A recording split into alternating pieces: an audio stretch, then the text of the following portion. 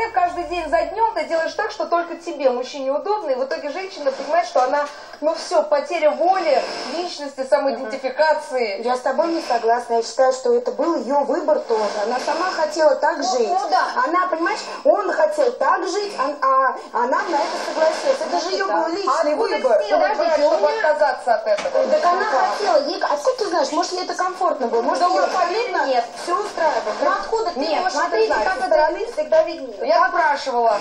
Да, просто я такую примерную ситуацию помню. У нас в семье было так, что я родилась, и мама сидела со мной, не работала, филолог, высшее образование, все такое. И, ну, папа как-то радовался, все нормально, все под контролем, и люстра югославская, не думаю, таких филюра.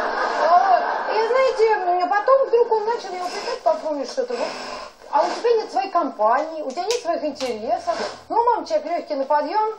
Вот, а она как-то сориентировалась быстро и что-то такое разрулила, и сейчас мы маму ищем с папой, знаешь, а где мать?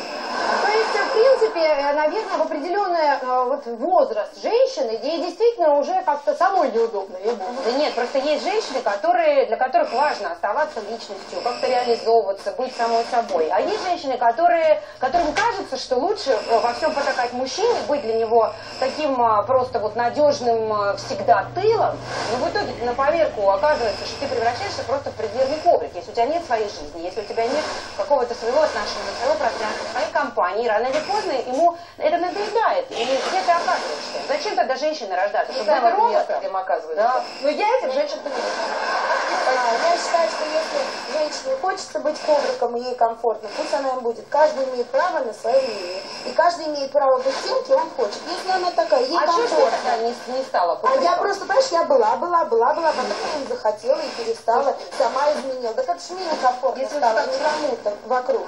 Нет, послушай, ну женщина часто зависит от мужчины, там, материально, эмоционально, как-то еще, и ей кажется, что, ну вот, ну что ж, как, как у всех. Вот, Да а у дело не женщины- есть две руки, две ноги. Если она терпит и ей нравится, значит ей так комфортно. А если ей не нравится, она берет две руки, берет две ноги и идет работать и зарабатывать сама Нет, деньги. А ты вот спроси, все. хорошо вот остаться и быть одной, вот вообще по моменту одиночества.